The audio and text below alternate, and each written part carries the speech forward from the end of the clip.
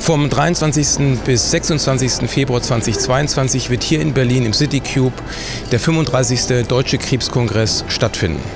Sie wissen, es ist der mit Abstand größte nationale deutschsprachige Kongress, der sich mit Krebserkrankungen beschäftigt. Es werden Expertinnen und Experten aus allen Bereichen der Krebsforschung, Krebstherapie hier in Berlin sich gemeinsam versammeln, um über die Zukunft und den Standard der Krebsmedizin zu sprechen. Es werden Expertinnen aus der Pflege kommen, von den Ärzteschaften, von der Forschung und auch aus der Gesundheitspolitik, um gemeinsam über die Zukunft der Krebsmedizin in Deutschland zu diskutieren. успехи. Wir werden drei Schwerpunkte auf diesem Krebskongress miteinander diskutieren wollen. Ich als Chirurg möchte gerne einen Fokus auch auf die Schnittstellen in der Krebsmedizin, in der Tumormedizin legen. Schnittstellen zwischen operativ lokaler Therapie, Systemtherapie, Schnittstellen in unterschiedlichsten Bereichen, auch im Bereich der Überleitung von Forschung in die klinische Patientenversorgung, halte ich für einen wesentlichen Punkt.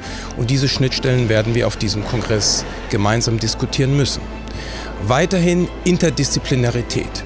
Ich als Chirurg in Göttingen erlebe jeden Tag interdisziplinäre Arbeit mit allen Partnern aus der Krebsmedizin, mit Strahlentherapeuten, Onkologen, Pathologen und Radiologen und gemeinsam therapieren wir Patienten interdisziplinär.